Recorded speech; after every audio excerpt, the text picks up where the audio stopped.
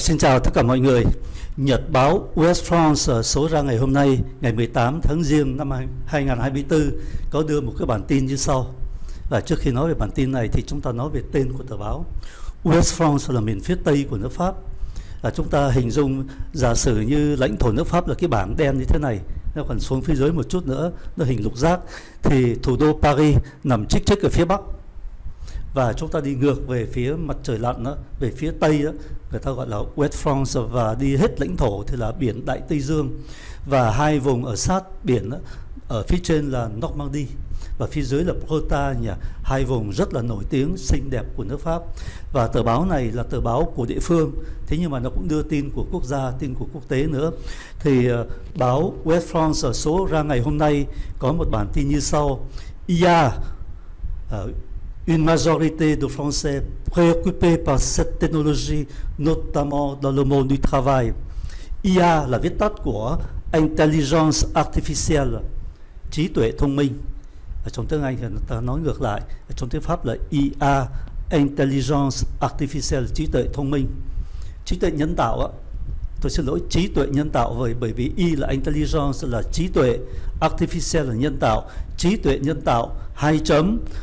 đa số người Pháp rất là ưu tư, quan ngại về cái kỹ thuật này, đặc biệt là trong số những người đang lao động. Ở đấy chúng ta có tính từ preoccupé preoccupé là một cái gì mà nó cứ nằm ở trong đầu mình mà không giải tỏa được. Nó, mình cứ ưu tư, mình cứ lo lắng. Chúng ta có một cái chữ rất là hay, trong tiếng Việt là đau đáu. Đau đáu tức là mình cứ nghĩ tới nó, không làm sao mà thoát được, mình cứ ưu tư bị dằn vặt. Thì đa số người Pháp đang ưu tư về cái kỹ thuật mới này, đó là trí tuệ nhân tạo đó đặc biệt là trong số những người đang ở trong thế giới lao động, trong cái tuổi đi lao động, ở đây chúng ta có một vấn đề chúng ta cần phải làm rõ. Tính từ preoccupé được viết ở số nhiều, mà chủ ngữ thì là số ít, la majorité des français. Như vậy đâu là quy tắc? Và chúng ta bỏ đi mấy hàng nữa nhé, thì xuống bên dưới lại có hai hàng như sau. Solo une enquête réalisée auprès de 2000 personnes, plus de la moitié d'entre eux se disent inquiets par cet essor.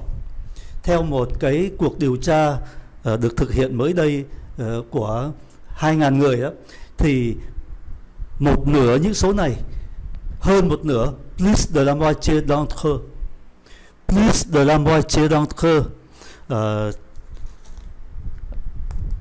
tôi xin lỗi.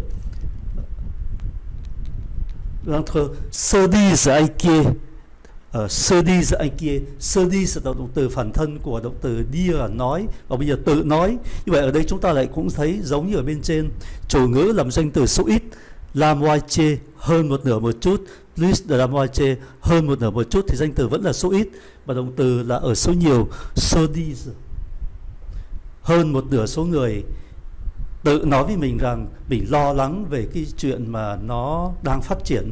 ESO là một cái sự phát triển nhanh. ESO là dùng cho các loài chim. Chim nó đang, đang đậu trên cành, cành cây rồi nó bay lên. Không có con chim nào bay lên mà bay từ từ. Nó bay vọt lên. Đó là ESO và trí tuệ thông minh bây giờ cũng đang phát triển rất là nhanh. Thì hơn một nửa người Pháp được à, phỏng vấn thì họ nói là họ rất là lo. Thì ở đây chúng ta thấy hai chữ trên là tính từ preoccupé dưới là động từ se dire. Hai chữ này ở số nhiều mặc dù chủ ngữ là số ít thì quy tắc là như sau. Ở chúng ta thấy ở bên dưới này một số các từ ngữ mà mang tiếng mang ý nghĩa là tập thể đó, le mot au sens collectif. Sens là ý nghĩa collective là tập thể les mots à sens collective. Những chữ đó, nó mang nghĩa ở trong đó có nhiều người, tập thể là có nhiều người.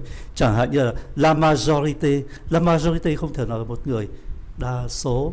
Rồi la moitié, một nửa một nửa lớp, một nửa khu vực, một nửa gì đó. Thì tất cả, trong đó là các hàm ý là số nhiều. Hoặc là une multitude. Une multitude là số nhiều, một con số rất là đông người vân vân. Những số những chữ này là những danh từ số ít nhưng mà động từ phía sau phải là số nhiều. À, bởi vì cái quy tắc là bên trong người ta thấy hàm ý những cái chữ này hàm ý là nhiều người chẳng hạn như ở trên là la majorité des Français préoccupés par cette nouvelle technologie đa số những người Pháp bây giờ rất là lo lắng ưu tư về cái kỹ thuật này. Thì nhiều người Pháp lo lắng, thì tính từ phải là số nhiều. Ở bên dưới cũng vậy, một nửa cái số này phỏng vấn 2.000 người, thì hơn một ngàn, hơn một nửa, tức là hơn một ngàn người tỏ ra lo lắng về cái sự phát triển này. Như vậy là hơn một ngàn người là số nhiều, thì động từ là sodise và đó là một điều chúng ta cần để ý. Và bây giờ chúng tôi xin trình bày uh, nội dung của bài. Và tôi cũng xin nhắc lại uh, nội dung của bài này ý nghĩa của bài này là rất gần với uh, công việc mà chuẩn bị thi B1 của một số anh chị em đang theo dõi bài này ấy, bởi vì uh, đây là một vấn đề rất là mới mà những không những mới mà nó lại rất là cần thiết cần phải biết. Ở trình độ B1 có thể người ta sẽ hỏi bạn nghĩ sao về trí tuệ thông minh? Hoặc là trí tuệ thông minh bây giờ đang uh, đang ờ, lấn lướt sẽ thay thế một số công việc. Bạn nghĩ sao? Thì chúng ta phải có tư liệu để chúng ta viết. Và xin mời mọi người theo dõi nội dung. Đây là một bài báo trích từ trong nhật báo West France. Số ra ngày hôm nay ngày 18 tháng Giêng năm 2024 nói về phản ứng của đa số người Pháp trước sự phát triển của trí tuệ nhân tạo. IA là viết tắt của Intelligence Artificielle. Intelligence là trí thông minh, Artificial là tính từ là những gì nhân tạo do con người làm ra. Une majorité de Français préoccupés par cette technologie, notamment dans le monde du travail. Le monde du travail là thế giới lao động, tức là những người đang còn đi làm việc. Đa số người Pháp, nhất là những người đang còn đi làm việc, thì tỏ ra rất là ưu tư quan ngại về cái kỹ thuật này. Face au développement et à l'adoption croissante de l'intelligence artificielle, notamment dans le milieu professionnel. L'IFOF a sondé la perception des Français sur cette technologie. Danh từ adoption cùng gia đình với động từ adopter. Adopter là nhận vào lòng của mình. Ví dụ chúng ta nhận một người con nuôi và ở đây chúng ta dịch theo nghĩa chủ tượng, tức là nhận lấy, chấp nhận lấy, đứng trước sự phát triển và trước sự đón nhận càng ngày càng gia tăng của trí tuệ nhân tạo, đặc biệt là trong môi trường nghề nghiệp, thì tổ chức IFOF đã thăm dò ý kiến về la perception de Français. Perception perception xuất phát từ động từ percevoir. Percevoir là nhận thấy do bằng các giác quan. Chúng ta dịch là nhận thức đã thăm dò ý kiến về việc nhận thức của người Pháp trên cái kỹ thuật mới này. Selon une enquête réalisée auprès de 2000 personnes, plus de la moitié d'entre eux se disent inquiets par cet essor. Essor là sự bay vọt lên của con chim con chim nó đang đậu ở một chỗ nào nó muốn bay lên thì nó phải bay vọt nhanh lên đó là essor theo một cuộc khảo sát được thực hiện ở 2.000 người thì hơn một nửa trong số họ nói rằng tự nói rằng họ đang rất là lo ngại về cái sự phát triển này. Ở đây chúng ta lại nói về plus de la moitié, đây là một danh từ số ít nhưng mà động từ ở số nhiều bởi vì plus de la moitié của con số 2.000 tức là hơn 1.000 người. Một nửa đó là 1.000 và hơn một nửa tức là hơn 1.000 người. Như vậy chủ ngữ là một danh từ số ít nhưng mà hàm ý là số nhiều, do đó động từ phải ở số nhiều. Tantôt décrite comme l'allié qui va nous libérer de toutes les tâches rébarbatives, tantôt comme un monstre à même d'asservir l'humanité. L'intelligence artificielle fait l'objet de nombreux fantasmes. Tantôt, tantôt, khi thì, khi nhân tạo được mô tả như là một đồng minh, và đồng minh này sẽ giải phóng chúng ta khỏi tất cả những công việc dễ sợ. Rebarbative rebarbative masculine và feminine, tức là nhìn mà thấy nó ghê gớm, nhìn mà chúng ta không muốn nhìn. Đó là một cái sự khó nhìn, dễ sợ. Và đôi khi được mô tả như là một đồng minh, alien là một đồng minh đồng minh này sẽ giải phóng chúng ta khỏi động từ libere quelqu'un de quelque chose giải phóng ai khỏi chuyện gì? Đồng minh này sẽ giải phóng chúng ta khỏi tất cả những công việc dễ sợ. Nhưng mà đôi khi lại được mô tả như là cái một con thú thú dữ à da servir l'humanité. Động từ asservir là bắt làm nô lệ à même de là có thể, có khả năng. Đôi khi trí tuệ nhân tạo được mô tả như là một con thú vật có thể bắt con người làm nô lệ.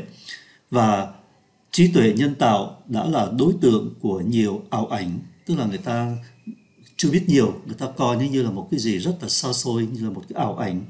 Afin de tenter de comprendre comment se situe la population face à ces nouveaux enjeux.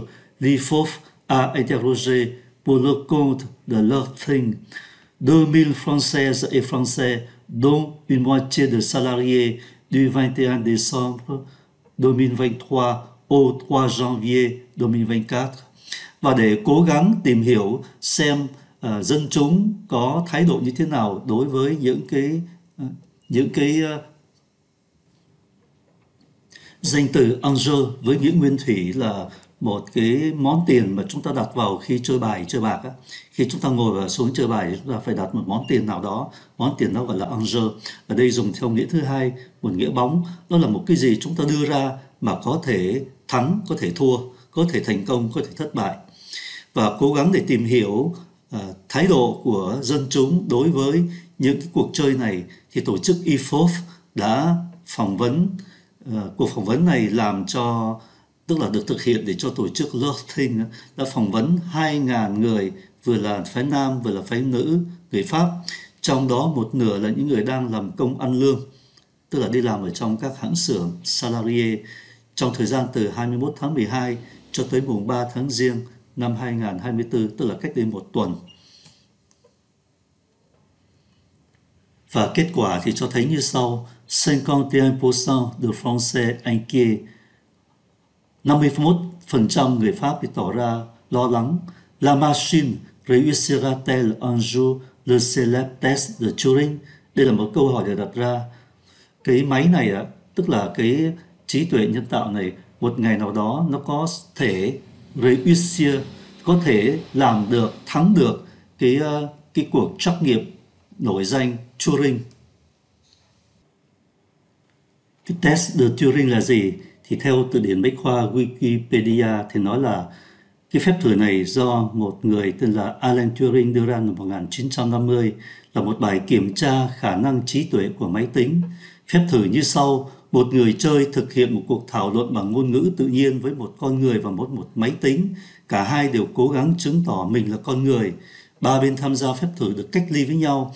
Nếu người chơi không thể nhận ra máy tính không phải là con người thì máy tính đó đã vượt qua phép thử như vậy chúng ta đang thử cái uh, khả năng của máy tính. Máy tính là máy vi tính.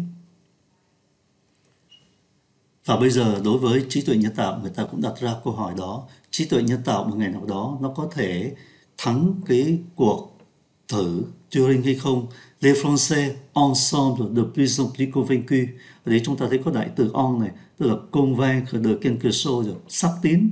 Người Pháp dường như càng ngày càng xác tín về cái chuyện này tức là máy tức là trí tuệ nhân tạo sẽ một ngày nào đó thắng được cái cuộc thử Turing aujourd'hui 64% estiment que les intelligences artificielles seront un jour capables de penser et d'agir comme des humains contre 32% en 1972.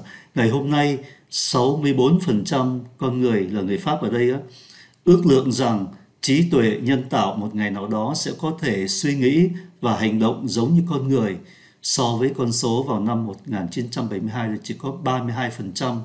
Đấy chúng ta thấy tính từ capable de faire quelque chose, chúng ta thấy có giới từ de 64% nghĩ rằng một ngày nào đó trí tuệ nhân tạo sẽ có thể suy nghĩ và có thể hành động. Chúng ta lại có giới từ đầu thứ hai sẽ có thể hành động giống như loài người so với 32% vào năm 1972.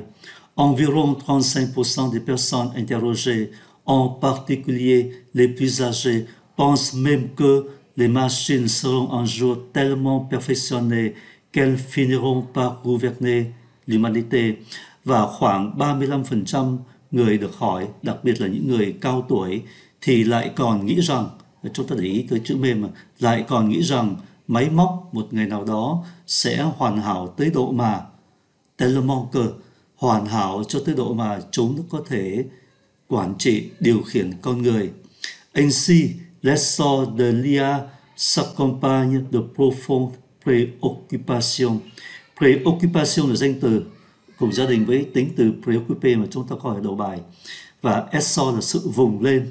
Như vậy, sự phát triển mạnh của trí tuệ nhân tạo sẽ được đi kèm theo với nhiều sự lo lắng sâu sắc.